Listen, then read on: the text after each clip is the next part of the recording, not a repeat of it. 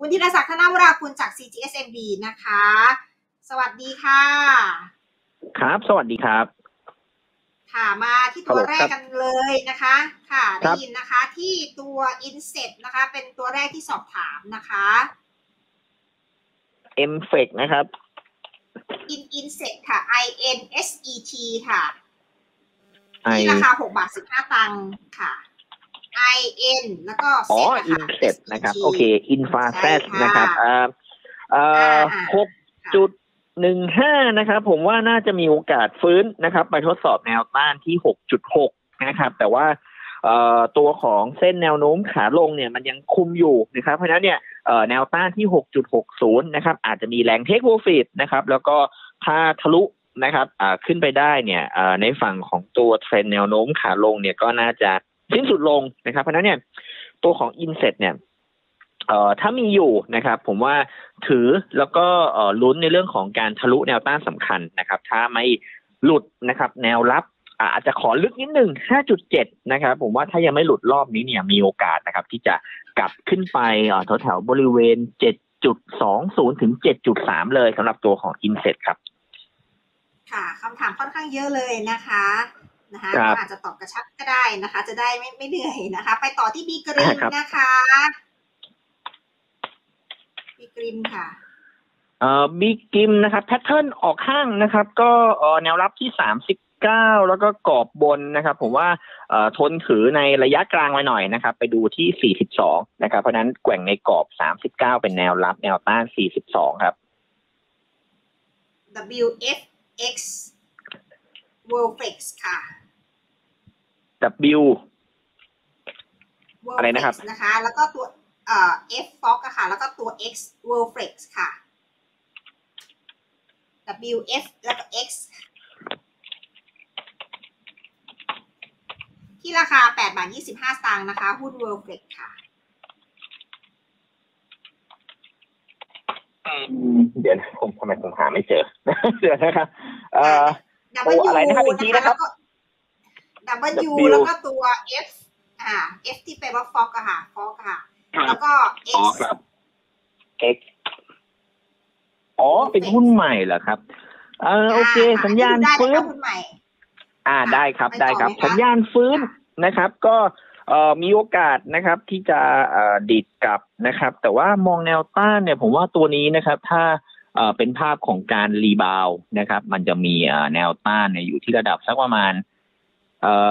ถ้าเป็นครึ่งทางเนี่ยก็จะอยู่ที่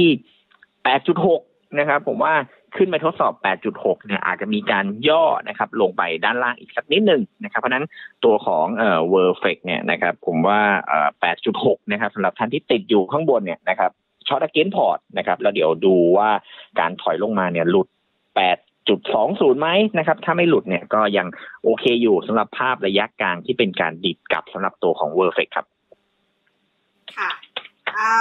ตัว BC นะคะ BC เอ่อสัญญาณขายเมื่อวานแรงนะครับ ก็อาจจะมีดิดกลับนะครับ แต่ว่าดูแนวต้านที่ 2.30 ช่วงเช้าก็พยายาม rebound แล้ว ผมว่าตัวนี้เนี่ย ต้องถอยนะครับ เพราะว่าสัญญาณขายเมื่อวานเนี่ยออกมาแรงมากนะครับ เต็มที่เลยผมว่าถ้าดีดเนี่ยไม่น่าเกิน 2.4 นะครับ แต่ว่า 2.3 เนี่ยขายได้เลยครับ RPC ค่ะ บาท 62 ตังค์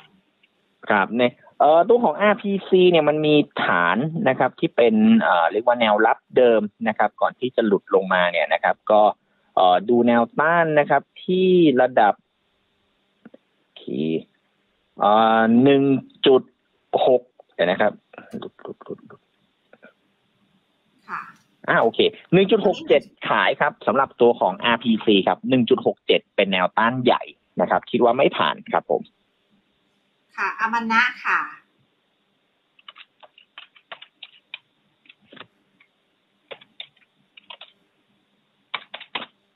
ตัวของอามานะก็น่าจะมีดิดกลับนะครับ เพราะว่าแนวโน้มเป็นไซด์เวย์นะครับ ก็แนวรับที่ 4.94 แล้วก็ให้แนวต้านเอาไว้ที่ 5.15 แล้วก็ไม่เกิน 5.3 ครับผมขอแนวต้าน RBF ค่ะ RPF ค่ะเอ่อสัญญาณขายวันนี้ดูไม่ดีนะครับเอ่อวันนี้เนี่ยบังคับนะครับว่า ตัวของ RBF เนี่ยจะต้องกลับขึ้นไปเหนือ 23.3 นะครับ ให้ได้นะครับ ถ้ากลับขึ้นไปไม่ได้เนี่ย ผมว่าวันพรุ่งนี้ก็มีโอกาสลงต่อนะครับ แล้วก็ไปดูแนวรับที่ 22.5 ถ้าหลุดเนี่ย แนะนำขายเลยสำหรับตัวของ RBF ครับ เพราะว่าสัญญาณในวันนี้เนี่ยพยายามขึ้นแล้วแต่ว่าไปไม่ไหวนะครับ เพราะฉะนั้นเนี่ยถ้าหลุด 22.5 นะครับ แนะนำให้ stop loss ดีกว่าครับ โซนิกนะคะ สี่บาทเก้าสิบตังค์ค่ะ โซนิกเป็น sideway up นะครับ ถอยลึกลงมาเอ่อที่บริเวณ 4.9เอ่อ4.90 ที่เส้น 200 วันนะครับ ก็พยายามฟื้นอยู่ แต่ถ้าวันนี้เนี่ยเอ่อยืนเหนือ 4.8 ไม่ได้แนะนำให้ stop loss เลยสำหรับตัวของโซนิกครับหลุด 4.8 คัดครับ ค่ะ SVOA นะคะ SVOA กับแนวต้านที่ 4. จุดเอ่อ20แล้วก็4.3ขายนะครับ แล้วเดี๋ยวไปรับคืนที่4บาท หรือต่ำกว่านั้นก็เอ่อจะมีแนวรับเนี่ยอยู่ที่3.92สำหรับตัวของ SVOA ครับ ขาย4.2นะครับ แล้วก็ไปรอรับที่3.92คืนครับ ค่ะ KCE ค่ะ KCE อ่า KCE ก็มีโอกาสฟื้นนะครับไปปิดแก็บแถวๆบริเวณ 88 นะครับ แล้วก็ให้แนวรับเนี่ยเอาไว้ที่ 85 แกว่งออกข้างครับสำหรับตัวของ KCE ดีดกลับขึ้นมา 88 ขายครับ TTA ค่ะเดินเรือนะคะ TTA ก็เอ่อราคากลับขึ้นมาเหนือเส้นอ่าค่าเฉลี่ย 50 วันรอบนี้ก็ดูดีนะครับเอ่อจุดถอยนะครับเอ่อ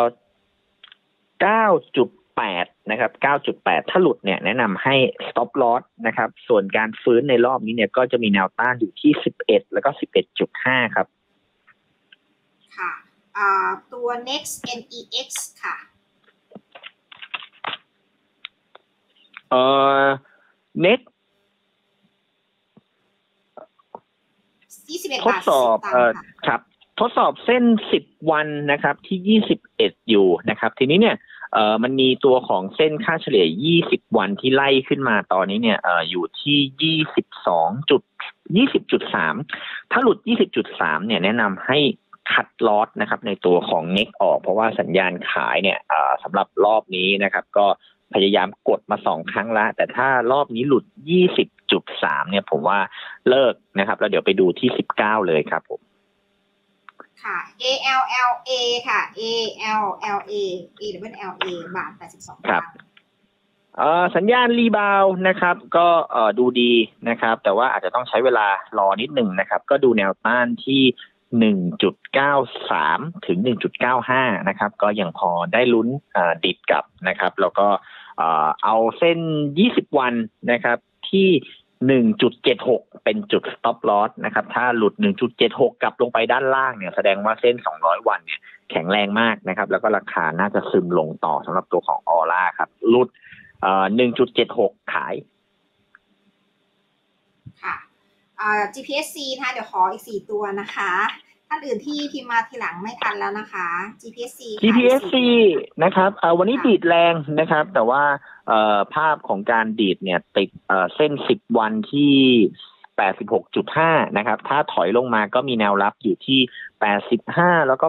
84 นะครับ เป็นจุดเข้าซื้อนะครับ แล้วก็ให้แนวต้านใหญ่ๆ เนี่ยเอาไว้ที่ 88 ก่อนสำหรับตัวของ GPSC ครับผมกราฟเอเนจีนะคะ ราคา 47 บาท25ตังค์ค่ะ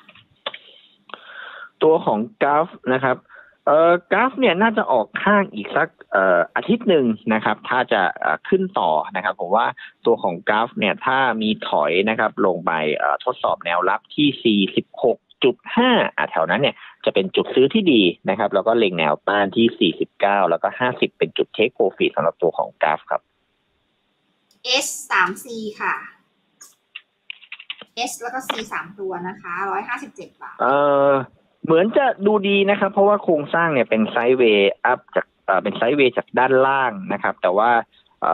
การฟื้นเนี่ยนะครับ มันจะมีแนวต้านใหญ่ ๆ อยู่ที่ร้อยหกสิบสามนะครับ เพราะนั้นตอนนี้เนี่ยสำหรับตัวของอปูนกลางนะครับ มันจะมีร้อยหกสิบแล้วก็ร้อยหกสิบสามนะครับเป็นจุดของการขายแล้วก็ไปรอรับคืนที่ร้อยห้าสิบเจ็ดนะครับ เล่นในกรอบล่างไปก่อนสำหรับตัวของปูนกลางครับ ค่ะวานะคะ แล้วปิดท้ายด้วย TCC ค่ะนะคะหมดแล้วนะคะเอ่อ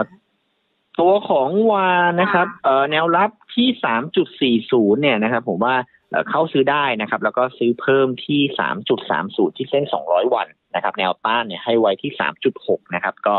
รอเอ่อระยะกลางสักนิดหนึ่งนะครับ น่าจะมีโอกาสฟื้นนะครับ กลับขึ้นไปสำหรับตัวของวาครับ อีกตัวหนึ่งเป็นตัวของอะไรนะครับ TCC ค่ะ บาท 22 ตังค์ไซด์เวย์ออกข้างเลยนะคะ ตัวนี้ TCC นะครับ TCC เนี่ยรอค่ะผมว่ารอสัญญาณซื้อเขานิดหนึ่งผ่านหนึ่งจุดสองหกได้นะครับ อ่า เป็นสัญญาณซื้อนะครับ แล้วก็เล็งไปขายที่หนึ่งจุดสี่ศูนย์สำหรับตัวของ TCC ครับรอผ่านหนึ่งจุดสองหกสวยกว่าครับ ตอนนี้ยังไม่รับครับค่ะขอมุมมองเซตนะคะ ทีเฟกนะคะ ทองคำนะคะ จากคุณธีรศักดิ์ด้วยค่ะ